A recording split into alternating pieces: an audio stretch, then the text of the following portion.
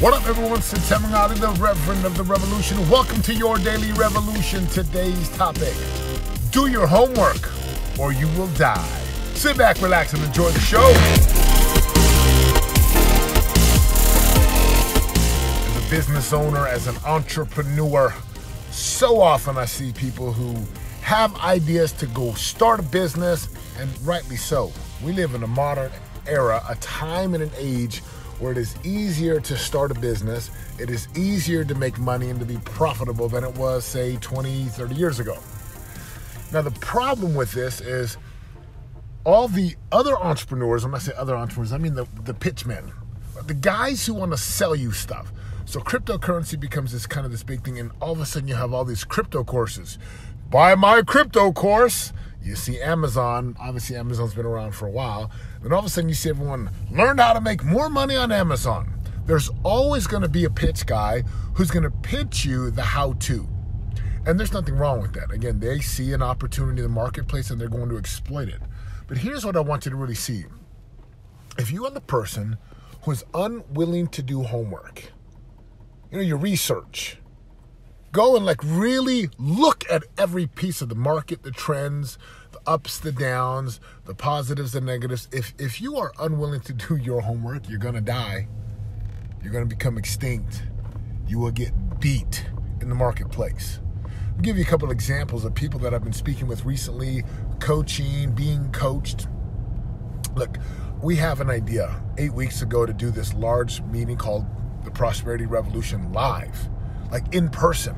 Now we run our small events. If you've been following me for a while or this is the first time, you can go to manwealth.com or shieldmaidenlive.com. Those are a small group. Right? 8 to 16, 20 people tops. Deep transformation. But eight weeks ago, I'm sitting here in my, my home and I'm thinking, man, I really want to reach more people. I want to reach out into the marketplace. I see guys like Jim Rohn, who's passed on, a Darren Hardy, a Tony Robbins, uh, uh, even uh, my good friend Russell Brunson. And they are doing these, you know, 3,000, 5,000, 10,000. Now, I love it because they're doing the thing that I want to do, which is reach and teach people, impact generations. So, have this idea eight weeks ago, and it's not like we're brand new in the marketplace. We know what it takes to go put some people in a room inside of a seat and change their lives. But we want to go do it on a large scale. So I had this idea, and over a week's period, I do my homework. Now I say a week because I've been doing this for the last four and a half, almost five years. Actually, the truth is, I started doing my own events back in 2007, 2008, 2009. So it's been at least 11 years in this industry of teaching, training, recruiting, teaching, training, selling. After a week of doing my homework, like I really looked at my homework, what's required? And the last thing I want to do is be pitched. Like have someone tell me it's easy. Every time I have someone say it's so easy, you could do it in less than seven clicks. You know, clicks of, of the mouse on, on your computer. Another line Nothing's easy. Get this through your head, my friends. Nothing is easy. You just become more skilled, stronger, bigger, faster, more intelligent. You become more resourceful. But it's not easy to go make $10 million or 100 million. So let's come back to my story. We, we decided uh, one week we're going to do this. And then we commit to it. And tomorrow, whenever you get this on uh, the beginning of April, obviously this is being recorded in April, we roll out the Prosperity Revolution Live, and that's prorevlive.com. Now, people will say, wow, you, you have over 100 people who bought tickets who are traveling from around the country, from around the world. People coming from Sweden. You have people flying here, September. Wow. It looks you, you make it look easy. Look, that's what professionals do. We make it look easy. A, a professional athlete, they make it look easy. A public speaker, they make it look easy.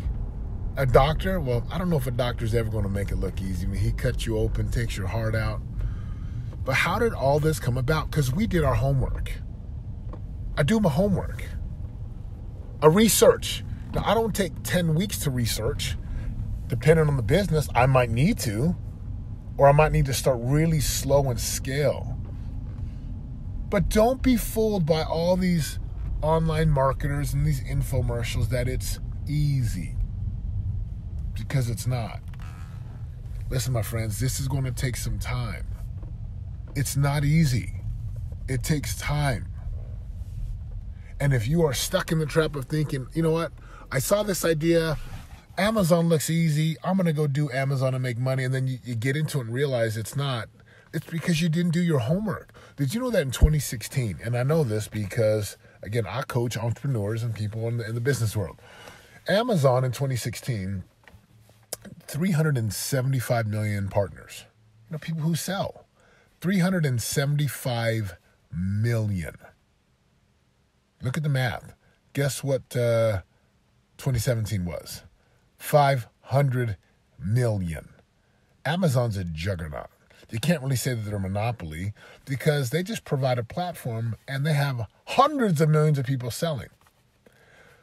Their goal, no doubt, is to have a billion partners.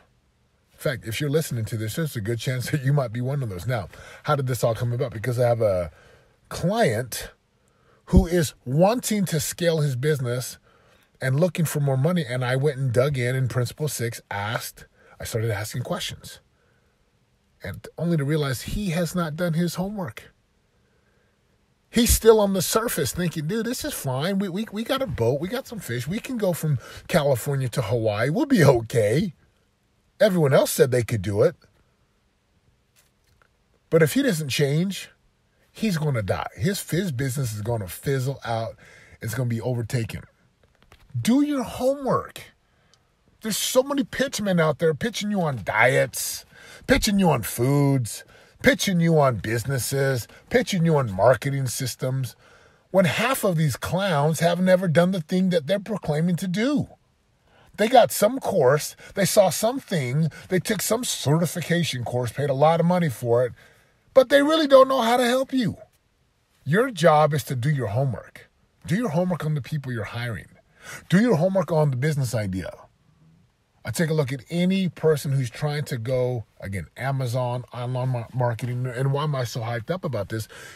I remember a few years ago thinking, man, Toys R Us is going to probably go out of business just like Blockbuster did. And sure enough, they're out of business. Why? The, the, the, new generation, the millennials, they shop with their phones. They're not trying to go to no store. I think the next person going down, like Sears, is already out of business pretty much. Nordstrom, you better watch out. You're probably already going down. Why? Because in the mall, like the biggest cat doesn't have to pay rent typically. But now, Nordstrom, you're not the biggest cat. It's probably Apple, most likely. And what do I know? The new generation of buyers, their phone is stuck to them more than they are stuck to their beliefs. Everyone's got their phone on them. We buy off of our phones. We buy. So if you're a business owner, entrepreneur, do your homework. Stay sharp, stay up to date, innovate. You're going to become like Sears. You're going to become like Toys R Us. You'll become like Blockbuster. You'll become like Nokia, Kodak. If you fail to do your homework and innovate and stay in the forefront of the marketplace, you're going to die. Like it's tough to be on top. It is. Just look at the Patriots. Just look at any organization. No king stays on top of the hill for very long because everyone's trying to get to the top of the mountain. And the greatest way you can combat this is to do your homework. What would doing your homework look like? Number one, it would look like you getting really clear about what you want, being clear and making sure that the thing that you want is the thing that you want. Number two, it's taking time to go beyond Google. Look, Google gives you the basics. They give you not just enough to kind of like wet your tongue, wet your taste, like, okay. But if you really want to do your homework, you're going to go pay for it A good friend of mine is an attorney. He's like, yeah, we spend six figures just to process paper, just to go through things.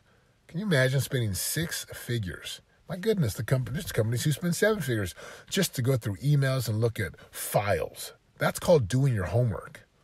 Doing your homework is really taking the time to define what's required.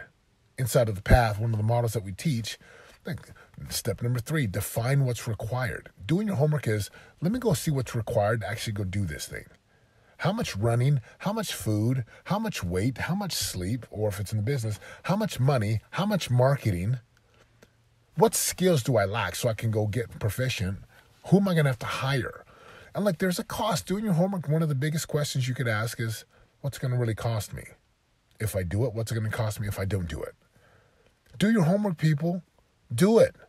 If you don't do it, you're going to die. Do your homework with your children. Like, literally, do their homework. Sit with them, read with them, spend time with them, have conversation with them. Do your homework in your marriage. What does your spouse want?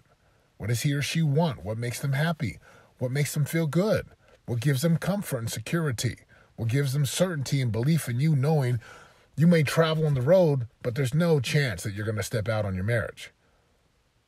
What's the homework required in the spiritual realm for you? Is it prayer? Is it meditation? Is it scripture study? Is it having faith and belief in something bigger than yourself as well as having faith and belief in yourself? Do your homework, my friends. Powerful people, they do their homework. And there's a big difference between doing your homework just for kicks and giggles and doing your homework to take action. Do your homework. If you don't, you're going to die and you'll become extinct. This is Setema Gali reminding you if you're going to create a life of real radical results, a life that you love, it's going to require you to pay the piper every single day so that you can get to the top of the mountain where your prize, promises, and your possibilities are waiting, just waiting for you. The revolution has begun. Will you join me? I'm out. For more info on joining the revolution and living your greatest life of prosperity today, go to www.yourdailyrevolution.com and join us in waking up, turning your brain on, and prospering today.